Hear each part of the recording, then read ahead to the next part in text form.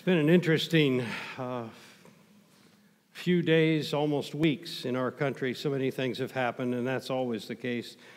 But I'm thinking right now of the death of the evangelist Billy Graham.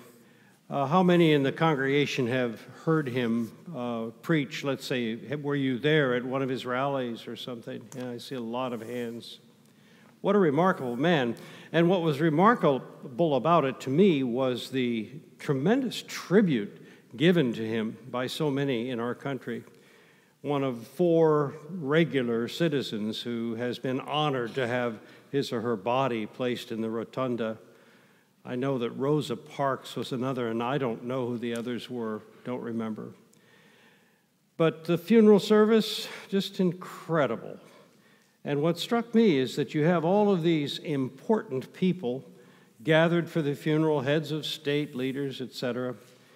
And the family got up and preached the gospel of Jesus Christ and told everyone there that I want you to know that God loves you and He loves you so much that He sent His Son to come into this world and to give His life for you and to die for you on the cross that you could be a child of God, saved, redeemed. God loves you. That simple message, He proclaimed it all over the world. And according to the scriptures which we have before us this morning, at least especially in the book of Corinthians, uh, we have people sitting in the pews of those churches in that day in Corinth and in the vicinity who thought that this is rather foolish, this gospel. And it really does seem foolish at first glance. Because I think most of us understand and know, don't we, that in order to please God, we've got to live a good life. And in order to uh, be a child of God, we've got to be faithful to all of His Word. And I'm not sure we need all of this other help, etc., etc. Let's take a look at the scriptures today briefly.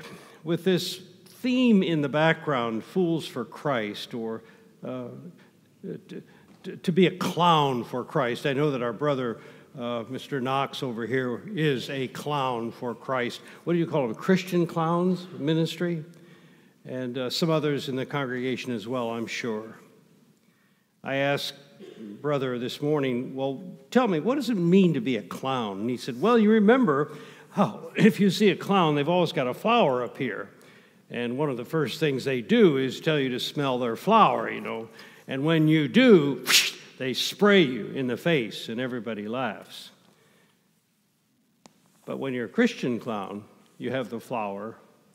And when somebody comes up to smell it, you push your button, but nothing happens. And you can't understand why it isn't squirting the person in the face. And everybody, of course, knows what's supposed to happen, but it doesn't. So then you, as the Christian clown, you smell it yourself and you get sprayed in the face. And so being a clown for Christ is a way to lift other people up and to make them understand and experience, even in a small way, what it means to be loved and cared for. I guess you could say that the greatest clown for Christ was Christ himself. The Old Testament lesson for today is just, it's one that we all know. It's, it's the one that presents to us the story of how God gave his commandments to his people. And I guess one could say that God gave the commandments to his people so that they would not be foolish in this world, so that they would not be clowns, so that they would be people who know what it is to live the godly life. Did you notice that the first verse of the Old Testament lesson today is a verse of great gospel? It's from Exodus, and the Lord introduces the commandments which He is going to give to His people to keep them from being foolish in this world with these words I am the Lord your God who has brought you out of slavery into a land of freedom. It's a verse of gospel which God gives to, to, to, to preface the law which He is about to give. We call the Ten Commandments the law. And according to our old catechetical instruction, we remember that the law tells us what we are to do and what we are not to do. That's the law. And so God gives us the commandments. And we think of the law sometimes as something that is negative, something that is killing. And indeed, it does kill. Because we know that if anyone breaks one of the commandments, we face death from God's almighty justice. The sin, the, the soul that sins shall die the scripture says. So we understand then that the God who gives us this law is the God who has loved us eternally. It's like seeing the, the law through the lenses of the gospel. And so when we approach the Ten Commandments, we do so understanding that these are words that come to us from our loving God who does not want us to be a fool in this world. Because, as you know, and as I know, probably better than you, my father used to say, I'm the worst sinner in this room because I'm older than everybody else. At least I'm not older than Pastor Ludwig, so that gives me some hope. But nonetheless, this law comes to us and convicts us. Oh, I wish I could keep the law. Oh, I, I know, I do keep some of it. I haven't murdered anybody. This morning on the Lutheran Hour, Dr. Dale Meyer was preaching. By the way, the Lutheran Hour comes on at 7:30 sharp on FM 102.5 and AM 540. It's kind of a convenient time if you're on your way to church, but it's a wonderful program of proclamation of God's word. Both Pastor Meyer and um, the other fellow, I can't remember his name right now. I know him well, just escapes me. They're very good preachers. But Pastor Meyer was talking about the commandments this morning. And he said, You know, some of us, we, we take pride in the fact that we don't break at least some of the commandments. For instance, we don't murder.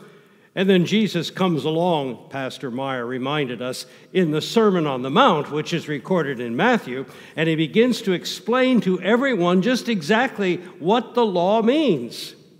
And he says, Jesus does, to the people, You've heard in the past, it's been said by God, You shall not murder. And if you murder, you're going to be in real trouble with God. Well, and some of you, Jesus is inferring, think, Well, I've escaped that commandment because I haven't committed a murder. And then Jesus says this I'll tell you what, if you say in your heart that your brother's a fool, if you call him a Raca, which is a fool, you have the same punishment coming down upon you as the murderer. And then the Lord Jesus goes on and talks about the sin of adultery. Well, I haven't committed adultery, so, well, what are you going to do? Say, good, I escaped that commandment. And then the Lord Jesus says, Let me tell you, in your heart, if you have had lust for a woman or a man, you have committed adultery.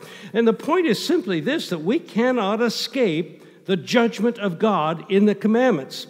And while God gives us the commandments so that we would be wise in this world, yet we act like fools. So I guess one could say that Christ has come into this world to turn us into his wise people so that we don't clown around with our spiritual lives anymore. You know, there are so many people in this world today who look at the commandments and just put them aside. Uh, what do we call them? The 10 suggestions or comments from another age. They have nothing to do with me. That's more or less the prevailing way of thinking about things in this world these days. If you read secular journeys, journals which talk about America, uh, our, our, society, and, and the directions we're going, you're appalled at what's happened in our country over the past 50, 75 years as gradually people are being pulled away from the Word of God to do their own thing. They don't want to be foolish anymore, they want to be wise in the world. They want to enjoy life as they have come to understand it. They've taken the 10 suggestions and commandments and put them to the side and have said, I don't need these for my life. I've risen above it. How many people in this world, Pastor Green has recently reminded us, call themselves nuns, N O N E S, which means that they have no religious affiliation, none. It's such a problem in our world. And God comes to us today with His word, and He says, Look, be wise. Listen to what I have to say for you. The commandments that I give you are not for me, they're for you, so that you would live as wise people in this sinful and deceitful world. You know, St. Paul, he, we've talked about him in Bible class, and we're going to continue that today.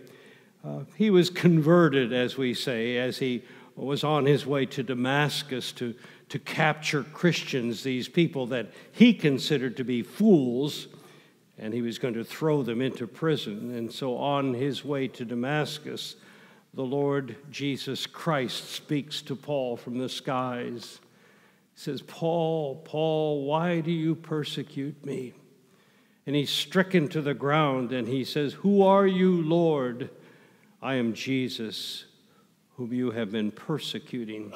And so the Lord Jesus Christ takes this man who feels that he is one of the wisest in the world, and indeed, Paul was an educated, brilliant man.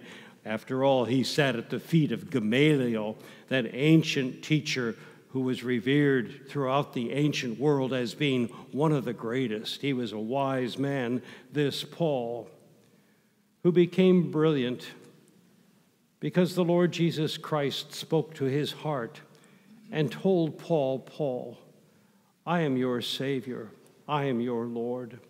I have loved you with an everlasting love.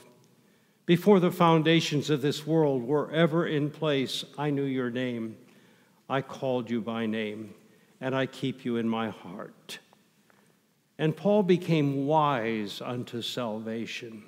And as you know, then, he spread the word throughout the ancient countries and and the gospel prevailed, and people came to know and to love Christ through that wonderful message. And one of the groups that came to know and love Christ was in the city of Corinth. The second lesson for today is St. Paul's first letter to the Corinthian Christians. And it, it's really interesting, folks, when you read 1 Corinthians and you understand how Paul starts that. He says, To the saints in Corinth. What is a saint? A saint is a holy person, a person who is pure in the sight of God. You saints in Corinth, I bring you greetings in the name of the risen Christ. And then Paul goes after these people who consider them some of the wisest in the world.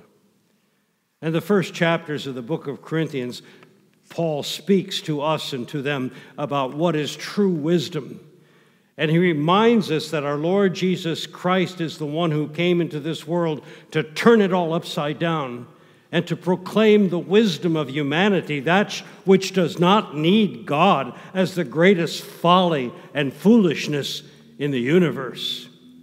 And our Lord Jesus Christ is the one who gave the gospel which Paul speaks about so beautifully, the gospel which we need to hear again and again, how it is that Christ died for us on the cross. And that was Billy Graham's message, too. He died for you and for me on the cross to take your sin from you, to cleanse you, to free you from the curse of the law, and to make you into one of his redeemed children whom he will never leave, never desert. He will love you forever. That's the folly of the gospel.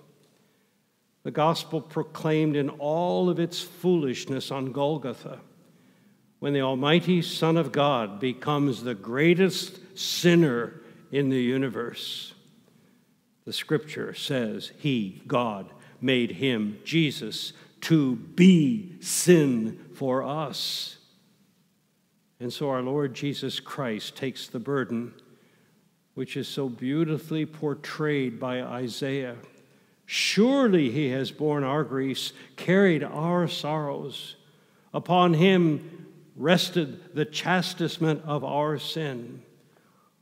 That's what our Lord Jesus Christ did for you and me on Calvary, and that makes no sense to the average Joe. because the average Joe, which includes you and me so often, sees no need for that kind of repentance. After all, aren't we such good people? The Word of God for today convicts us. The commandments convict us, every one of them. When you look deep, deep into your heart, you find that, oh Lord God, I can't do what you've asked me to do. But when you look deep into your heart, you also then hear the voice of our Lord Jesus Christ, who comes to you and me today through word and sacrament. And he says, I know. And that's why I've come to do it for you. And so Jesus takes our sin upon himself and deals with it. So that, as Billy Graham says, in the cross, God forgave all of our sins and gives us the gift of everlasting life. God loves us, every single one of us, into eternity. Our Lord Jesus Christ didn't mess around with sin, He hated it. This episode, which is recorded for us in the gospel today about Jesus going into the temple, how extraordinary that is. And when you read the context of this, you understand that Jesus has just come from Cana of Galilee, where he and his disciples had invited had been invited to attend a wedding. That's a wonderful, wonderful story of gentleness and kindness and concern for people in their more or less little problems. And Jesus goes in there and creates huge amounts of wine. I think it's Dr. Paul Maier, some of you know him, who spoke about this once, and he said he calculated, based on the information that you can glean from those days, that there probably were about 40, 50 people at this wedding. And yet Jesus made gallons and gallons of wine. They had so much wine left over, they had to store it. That's the kindness and care of Jesus now, who walks into the temple and is infuriated when he sees people tamper with God's holy things and turn them into a circus. And he takes cords and he makes whips and he beats them out of there. He overturns the tables and the world is aghast at this one who thinks he has such authority. And you know, underneath this story, underneath the facts, you have the real fact that Jesus comes into this world to take his cord of whips and to drive evil out of our lives. And again, he's done that for you and for me when he is bound by cords and taken to the cross where he dies so that you and I can become fools for Christ and tell the world about the goodness and the beauty of the God who has loved us forever in his Son Jesus Christ. And in his name we pray. Amen.